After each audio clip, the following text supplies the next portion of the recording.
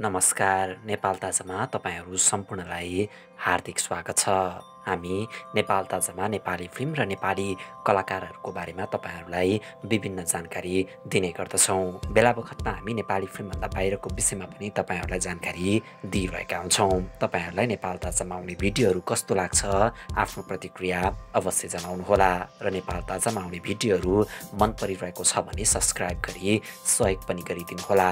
आज हामी नेपाल ताजाको यो भिडियोमा निकै छोटो मिठो कुराकानी गर्न गइरहेका छौँ। बाघ अभिनेताको रूपमा दर्शकमा चिनिएका विराज भट्ट र आफूलाई एक्सन अभिनेत्रीको रूपमा चिनाएकी रेखा थापा बीच किन बोलचाल छैन? उनीहरू बीच पानी बारबार हुनुको कारण के हो? आज हामी यसको बारेमा छोटो मिठो जानकारी तपाईँहरूलाई दिँदैछौँ। अभिनेत्री रेखा थापा र अभिनेता विराज भट्ट एक समय काँचको पर्दामा सर्वाधिक रुचाइएको जोडी हो। दशक अगाडि निर्माता निर्देशकलाई के विश्वास थियो भने विराज र रेखालाई फिल्ममा लिएपछि हलमा दर्शकको भिड लाग्छ। उनीहरूको अनुहार पोस्टरमा राखेको भरमा एक समय हलमा दर्शकको ताती लाग्ने गरेको थियो। यी दुईको जोडीले धेरै निर्मातालाई करोडपति बनाएका छन्। किस्मत देवर बाबु मैदान कवच तोड बाटुली आफ्नो मान्छे आफ्नै हुन्छ। सहारा सिलसिला लगायत दर्जन बढी फिल्ममा विराज भट्ट र रेखा थापाले सँगै काम गरेका छन्। तर लामो समयदेखि विराज भट्ट र रेखा थापाको जोडीलाई दर्शकले पर्दामा देख्न पाएका छैनन् र देख्न पाउने सम्भावना पनि अब न्यून हुँदै गएको छ।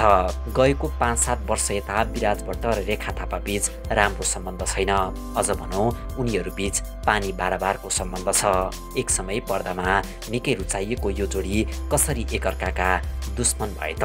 कुरा दुई हजार सत्तरी सालको हो।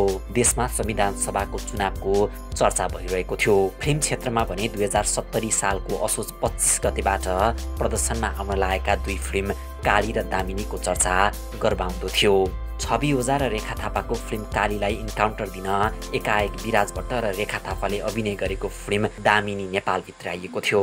रेखा र छविराजले आफूहरूलाई धोका दिएको भन्दै मनोज राठी र उज्जवल पौडेलको टिमले भोजपुरी भाषामा निर्माण भएको फिल्म दामिनीलाई नेपाली भाषामा डब गरेर हलमा ल्याउन लागेको थियो। त्यसबेला रेखा र विराज फिल्म करियरको उत्कर्षमा थिए। उनीहरूको स्टारडमको चर्चाले फिल्म क्षेत्रमा छुट्टै खालको तहल्का मचाउने गरेका थिए।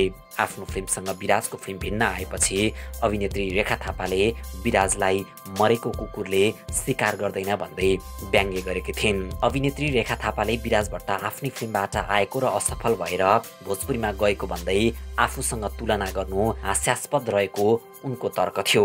अभिनेत्री रेखा थापाको यो तर्कमा अभिनेता विराज भट्टले पनि गतिले जवाफ फर्काएका थिए। विराज भट्टले चल्न छाडेकी नायिकासँग आफ्नो तुलना नहुने भन्दै अनलाइन खबरलाई दुई हजार सत्तरी सालमा एक अन्तर्वार्ता दिएका थिए। विराज भट्टले भनेका थिए डेट एक्सपायर रेखासँग मेरो तुलना हुँदैन। विराज भट्टले रेखालाई फिल्म क्षेत्रमा अवधि सकिएको नायिकाको रूपमा समेत चित्रित गरेका थिए। विराज भट्टले अभिनेत्री रेखा थापालाई अनपढ र म्यानरलेसको समेत संज्ञा दिएका थिए। यसपछि रेखा र विराज भट्ट बीच छत्तिसको आँकडा छ। उनीहरू अहिले एकअर्काको नाम समेत सुन्न नचाहने फिल्मवृत्तमा चर्चा छ। यद्यपि रेखा थापा एक्सनमा निखिल उप्रेती भन्दा विराज भट्ट राम्रो रहेको बताउने गरेकी छन्।